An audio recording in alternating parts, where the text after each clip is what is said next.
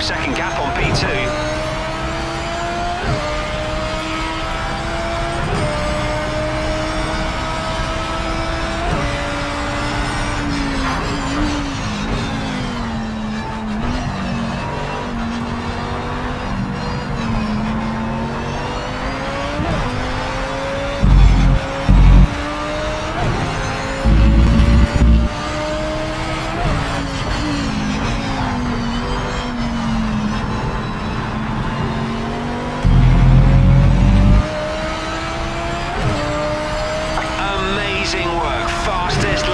race.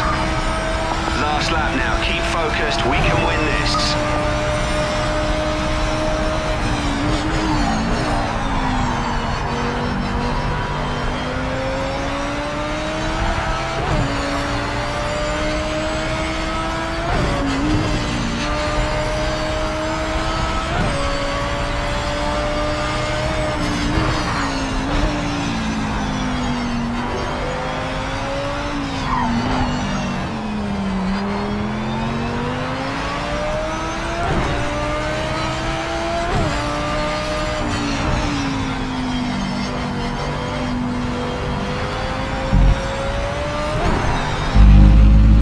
One. That's the fastest first sector.